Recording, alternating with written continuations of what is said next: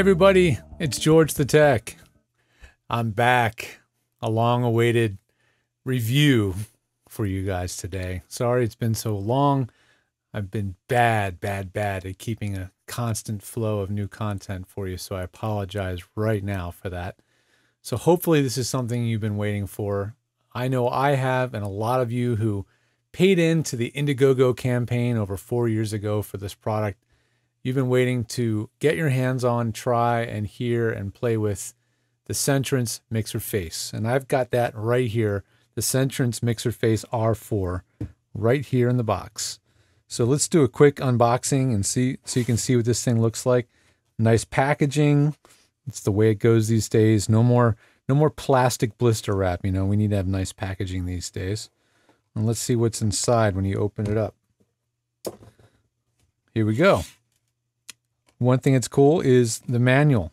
Yeah, that's it. That is the manual. That's what you're going to get with your MixerFace. They don't over explain. There's not a lot of detail. They just give you the basic information.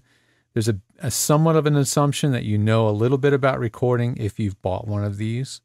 But if not, of course, reach out to me and I will get you up to speed. But the MixerFace R4 has really great layout, very well designed, well thought out controls. This thing went through a lot of design iterations, and so the final design of this thing is really fantastic. It's got line level input for mixing in something from the outside if you want to monitor something else in your mix. Combo jacks. It's got a headphone output that's stellar, really great headphone output. USB audio input, that's the USB connection to your computer or your tablet or iPad, which I'm going to dem demonstrate. USB charging so that the unit can be powered from USB while it's being used with an iOS device because iOS does iOS devices like the iPad and the iPhone do not supply enough power. So this can, thing can be powered from a USB power supply of your own if your own supply, you have to provide that yourself. Or it can be charged and then run off the uh, battery internally. It's charged through that same jack.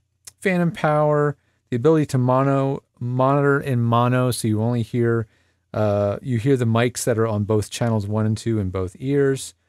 A line output level switch, which is going to be huge for people that want to use this thing with video cameras. You can you can basically knock the line output level way down to avoid clipping your camera input on a DSLR or an older video camera.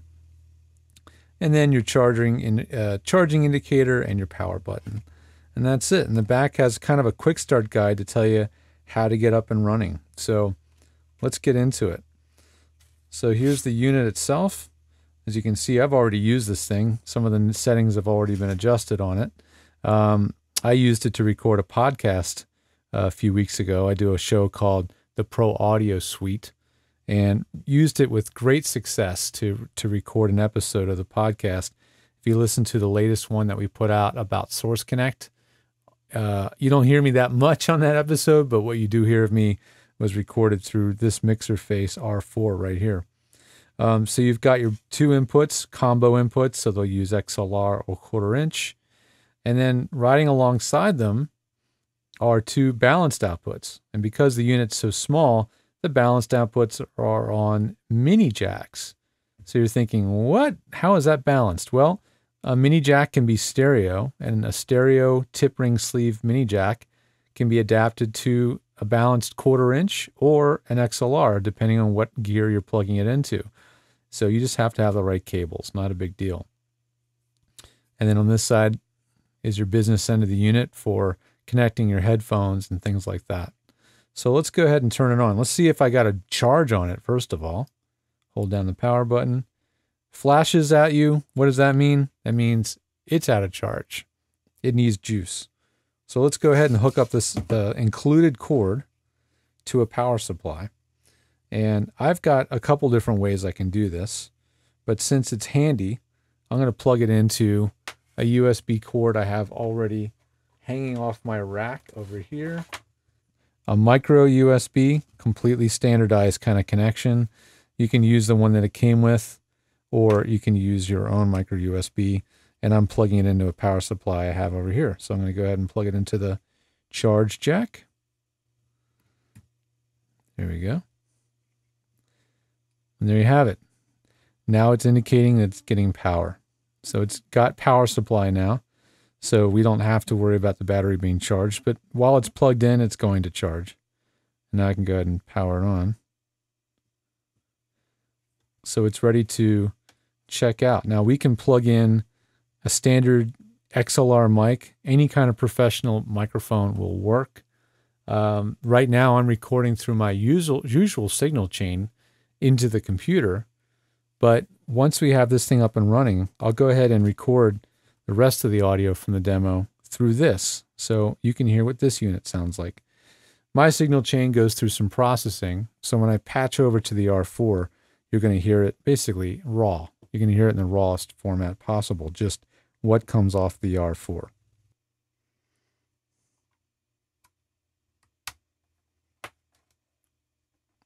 I'm going to plug it into one of my favorite, basically stunt mics, I call it. This is the uh, Audio Technica AT875R. Really good mic for the money. Sounds great. It's a great mic to have in your road kit. I've got it on an aftermarket shock mount and a little tripod stand here. I'm going to go ahead and plug that in. And I'm going to plug my headphones in. There we go. And of course, we have to have something to record too. But the nice thing about this unit is it acts as a standalone device. You can use this as just a mic preamp and monitor mixer for a, a, recording rig like a like a like a video camera, like a DSLR camera. So you don't have to plug it into a computer. As long as it's charged or has a power supply going to it, it's a standalone device, does not require recording to a computer at all, which is really cool.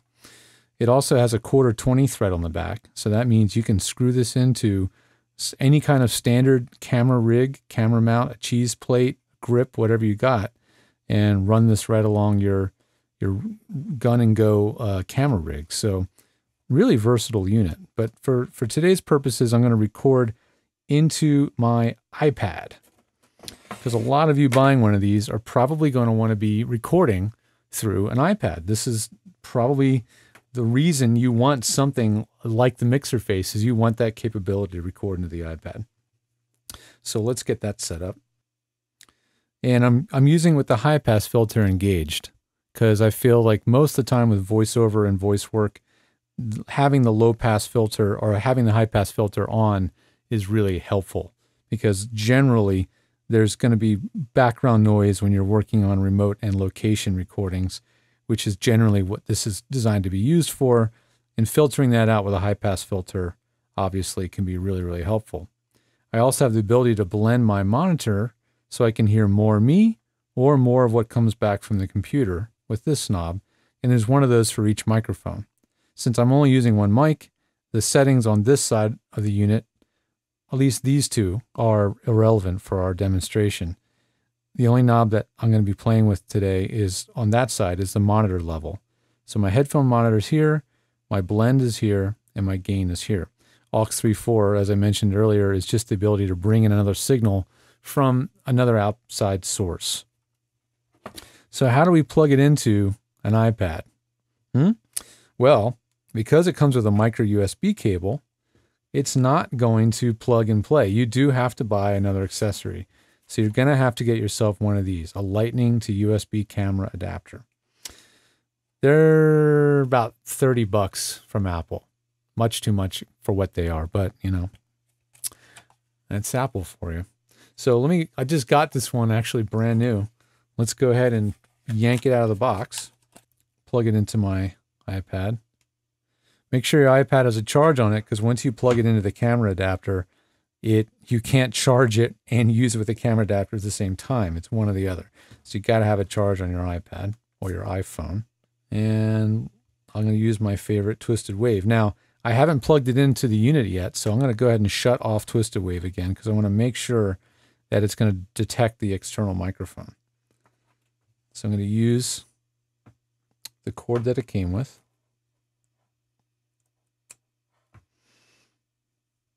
And that is going to go from the iPad adapter or the iPhone adapter into this USB jack on the other side. That's the audio jack. Okay. Now we have those two set up. Once I start TwistedWave Recorder and create a new document, I'll do 44.1, but it can do up to 192. I think it, I think it can record up to 192, but I'm going to record a 44.1 for this demo, mono. Ah, so this is a good sign. So the software has detected that something is plugged into it. So that means it's now going to be able to record from the external source. So I'm going to go ahead and click OK. And I'm going to hit record. Now let's, how do we know for sure it's not using the built-in mic on the iPad, but using an external source? The easiest way to tell is just tap on the iPad with your fingernail like this. Then tap on the mic. Yeah, there you go. Pretty obvious at this point, we're actually recording through the MixerFace itself. So this is a great scenario where the MixerFace is going to shine because again, as long as you've had your MixerFace charged, you now have a completely cordless portable rig you can have with you in the car. You can have it on the road. As long as you've got a, a device to record to, you're fine. iOS devices work great. Android is something I haven't tested yet, but as long as you have an on the go cord, which is a cable that goes from a USB jack on the iPhone, uh, an Android phone, to USB, the device should work perfectly with it. Um, I'll let you know, and if and if any of you guys have a chance to demo that and try it on your Android devices, comment down below and let me know what devices you're using so we can figure out what works and what doesn't. But this was really designed with a tremendous amount of effort put into it to work with the iPhone. In fact, that is one of the reasons it took so long to make it to market was to get the approval and have it perfectly, completely 100% uh, compatible with iOS devices. So most of you are probably going to want to use it with an iOS device. So iPad mini, this is an iPad mini, an original iPad mini. I got this iPad mini used for $60. So you can get an iPad mini for 60 bucks and start recording with your MixerFace on the road. I think the iPad mini for TwistedWave is great, but you know, the iPhone's going to be awesome too. The ability to have something that portable that you can bring with you is going to be awesome. So, you know, this thing's got oodles of gain. It's got an overload indicator that you can see I'm kicking, I'm actually kicking into overload here from time to time. And my microphone is over a foot away from me. So you can see it's got oodles of gain, right? Plenty of gain. So it's really, really versatile in terms of its ability to have enough gain to drive um, all condenser mics and most of your dynamic mics. Um, you may have trouble with an SM7 for voiceover work because that thing just needs gobs of gain. You might need to use that with a Cloudlifter, but generally it's going to provide enough gain for just about any common voiceover microphone and do it beautifully. So, as you can see, it's a great package. It's compact. It feels well made. It definitely is up to par with the quality you expect from CEntrance. If you've if you've used the MicPort Pro and you know how good it sounds, this thing's going to sound at least as good, if not better, than the MicPort Pro. Um, it's really fantastic. And again, I can't forget to tell you and remind you that the headphone jack is fantastic. It has an incredible amount of output, really good signal, really powerful. So you really can't go too wrong with this unit. They actually make another version of the MixerFace with a built in recording function as well. So if you like the idea that you can have a backup recording device with you that's always with you no matter what to back up on long sessions, or maybe if you're doing audio for video and you want to have a second system to record, the other unit is exactly the same size. It just adds a micro SD slot and a record button. So that same unit can be a recorder as well. So that takes it up another notch in terms of price. I'll have the prices down below here but it really is quite remarkable. So the CEntrance MixerFace R4, it's really up to par. It's it's really nicely made. Sound quality is fantastic. You know, it's it I think it was worth the wait if this is the kind of product you're looking for. They really put a lot of thought into it, even giving you a nice quick start guide physically attached to the base of the unit. Almost nobody does that. It's really they really thought about the kind of people using this and the fact that they're going to need a little bit of guidance to make sure this thing is ready to go for them when they pull it out of the box.